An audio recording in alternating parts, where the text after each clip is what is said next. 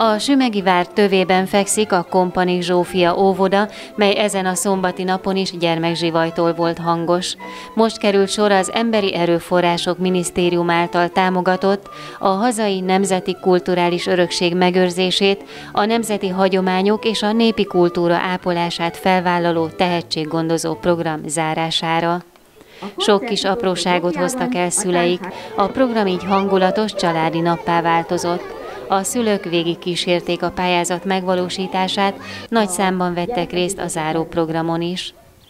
Véglászló a település polgármestere köszöntőjében kiemelte, nagy hangsúlyt fordítanak a város oktatási intézményeiben a népi hagyományok ápolására, mely jót tesz a magyar ember lelkének, ahogy fogalmazott.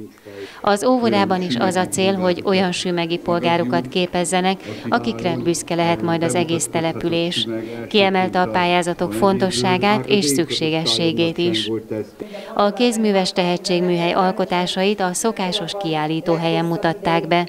Olyan 5-6 éves korú gyerekek jártak ebbe a körbe, akik szeretnek rajzolni, különféle vizuális technikákat kipróbálni, valamint örömmel engednek teret képzelőerejük, kreativitásuk, alkotásvágyuk szárnyalásának. A legkülönbözőbb anyagokat használták fel a heti alkalmakon.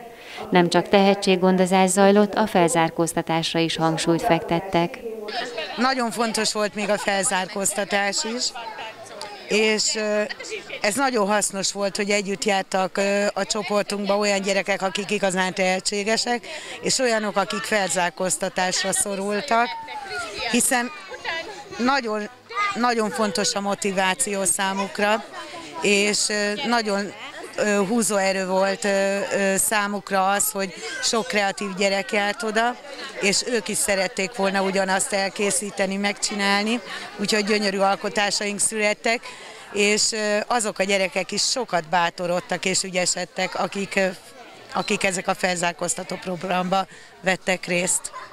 Az óvodai nevelés egyik célja, talán a legfontosabb célja, hogy az iskolára készítsék fel a gyerekeket. Ezek a foglalkozások hogyan járultak ehhez hozzá? Hát a kézügyesség alapján mindenképpen az írás tanuláshoz elengedhetetlen az, hogy ugye a ceruzafogás, a színek használata, és nagyon fontos az ollózás, ugye, ami elég nehezen megy a gyerekeknek, és ezen a kézműves foglalkozáson rengeteget olloztunk, téptünk, vágtunk, rajzoltunk, úgyhogy én azt hiszem, hogy ezeknek a gyerekeknek már az írás tanulása gondjuk nem lesz.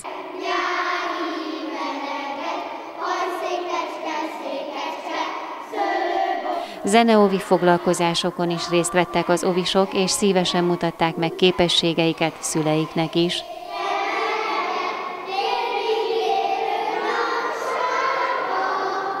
Elsődleges célunk a néphagyományápolás volt, ami nekem már szívügyem nagyon régóta, tehát nem csak ebben az évben foglalkoztam ezzel. A zeneóvit leginkább erre tudom felépíteni, erre a néphagyományos szára.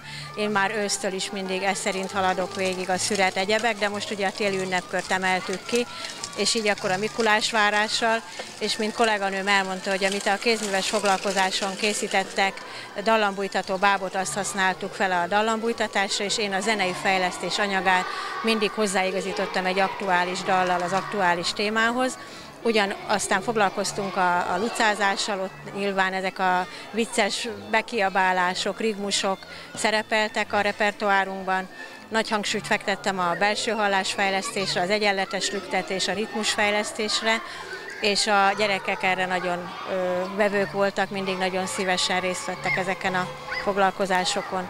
Nagyon sok dalanyagot elsajátítottunk a 24 foglalkozás alatt.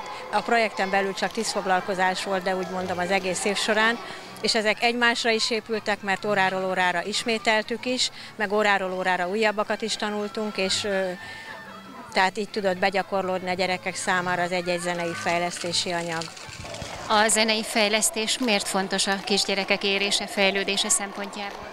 Hát azt tudnám erre mondani, nem tudom, hol olvastam egyszer, hogy ha egy kisgyerek iskolás koráig csak a népi gyerekjátékokon nőne fel, akkor is, és ez nem csak az énekes játék értendő rajta, akár egy bigézés vagy bármi más, akkor is olyan mértékben tudnak fejlődni, hogy iskolaéretté válnak, és én ezt el is hiszem, ugyanis a ritmustól elkezdve a hallásfejlesztés, a dallam, a, a ritmika eleve benne van a gyerekekbe, és ezt a lüktetést, ha ők érzik és tudják a mondókákon, a dalokon gyakorolni, akkor beépül az egészükbe. Könnyebben megtanul majd írni, olvasni, a számolásban ugye összefügg a zene és a, a számolás.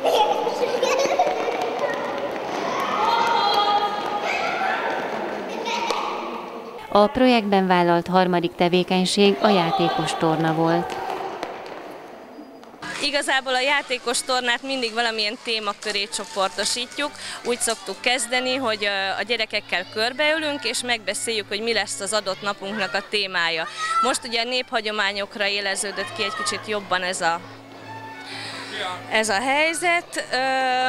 Kezdtük azzal, hogy Mikulás készülődés, ugye akkor Mikulásos játékokat játszottunk. Ebből állt az akadályverseny, akadálypályánk is, akadályversenyen keresztül ebben a témában zajlott. Lucázáskor seprűt használtunk a bemelegítéshez például, vagy pedig a játékok során felhasználtuk Luca seprűjét. A boszorkány is megjelent szintúgy, Mackó napkor, mackó járás gyakoroltatása volt a fő tevékenységünk, ez bármilyen tevékenységben, tehát vagy ahogy, hogy barlangba, kibújás, bebújás, járás gyakorlatok közben, és most igazából tehát minden így a néphagyomány köré ment.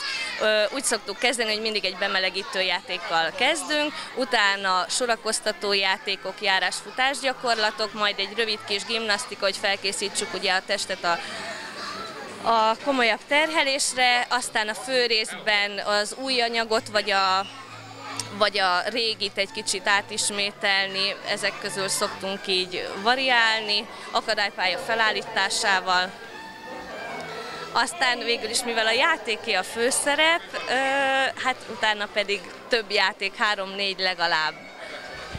Ebben az életkorban különösen fontos a mozgás koordinációnak a kialakítása. Ez hogyan valósul meg ezeken a foglalkozásokon?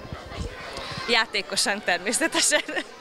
Játékosan akadálypályán keresztül, figyelünk azért a tartás javításra is, lábtornát is bele szoktunk vinni, Néha ugye, mert elég sok ö, a luttalpas kisgyerek mostanság, a tartás problémás, és ezeket ilyen kis gimnasztikai gyakorlatokkal, vagy pedig játékkal próbáljuk. A pályázat jelentős eredményt hozott az óvoda fejlődésében. Minden évvel szoktunk jönni, és minden évben nagyon jól érzik magukat a gyerekek. Tehát nagyon jó programnak tartom, és így sokkal jobban összekovácsolódnak a gyerekek, a szülők, ez egy nagyon jó lehetőség erre. Mennyire tudta követni szülőként, hogy egy projekt valósult meg az óvodában? Én eszemtag is vagyok, tehát én teljesen tudtam követni, és a szülőknek is tájékoztatást adtunk róla, hogy mi lesz ma itt. És mi a véleménye a projekttel, azokkal a foglalkozásokkal kapcsolatban, amelyek az elmúlt időszakban megvalósultak? Szerintem nagyon jól sikerültek, és a gyerekek nagyon élvezték. Hát ez ilyen családi hagyomány, minden évben jövünk, minden évben itt vagyunk. És mi a véleménye ezzel a kezdeményezéssel kapcsolatban? Hát igazából fontosnak tartom, hogy összefűzze a családokat, egy ilyen köteléket épít, úgyhogy meg, meg amúgy is egy jó nap, jó idő van, használjuk ki. Mert ma el akartam jönni ide az oviba. És miért akartál eljönni? Mert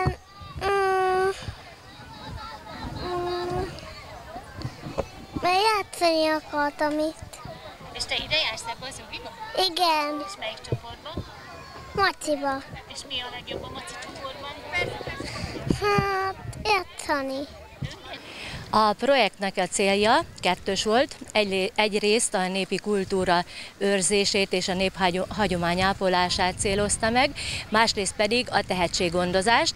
E, erre a projektre 1 millió 264 ezer forintot nyertünk, ez egy visszanemtérítendő összeg, önrészre nem volt szükségünk.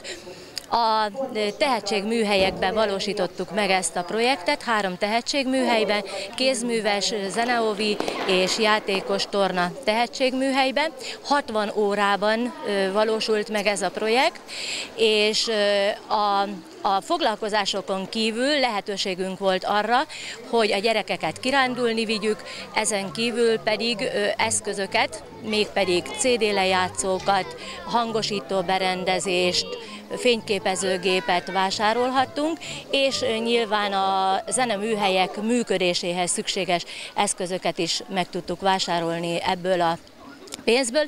Azért tűztük ki célul, hogy megpróbáljuk és megpályázzuk ezt a kiírást, mert az előző nevelési évben mi már elkezdtünk valamit a tehetséggondozás terén, ugyanis az óvodai nevelési program is szinte kötelezővé teszi, hogy most már ne csak a felzárkóztatással foglalkozzunk, hanem figyeljünk oda a tehetséges gyerekekre is, és próbáljuk meg őket is gondozni, és jött ez a pályázat, kapóra jött, és egyből kaptunk rajta, hogy akkor jó, hát akkor megpályázzuk, és én megmondom őszintén, azt gondoltam, hogy hát ilyen kis óvodának biztos, hogy nem fog nyerni a pályázata, és nagyon emlékszem rá, hogy november 19-én jött a hír, hogy megnyertük a pályázatot. Nagyon-nagyon örültünk, hogy ráadásul ekkora összeget nyertünk, és megpróbáltuk a leghasznosabban felhasználni ezt az összeget. Hány gyermeket tudtak bevonni a projektbe, illetve az óvoda egészét érintette valamilyen szempontból? Hát a kiírásban benne foglaltatott, hogy csak 30 kisgyereket lehetett bevonni, tehát a három tehetség műhelyben mindegyikében 10-10 kisgyerek került bevonásra, és pontosan azért gondoltuk, hogy egy projektzáró rendezvényel zárjuk le ezt a projektet, hogy ne csak az a 30 kisgyerek részesülhessen a, a pályázat eredményéből, hanem a többiek is. És, és ne csak a gyerekek, hanem a családok is, hogy egy kicsit a projektzáró rendezvényen a, a családok még közelebb kerülhessenek egymáshoz is, meg az óvodához is, a dolgozókkal is lehessen egy kicsit kommunikálni itt a rendezvény során. Most ugye nem sokára nyári szünet következik, de a következő nevelési időszakban tudják-e hasznosítani a most megszerzett tapasztalatokat?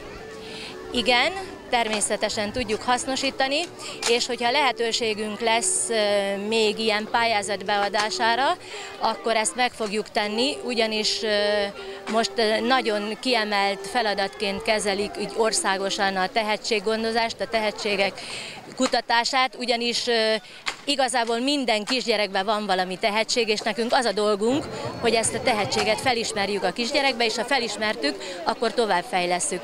És nyilván azokat az eszközöket, amelyeket vásároltunk, nem csak a tehetséggondozó műhelyek használják, hanem használják a többiek is.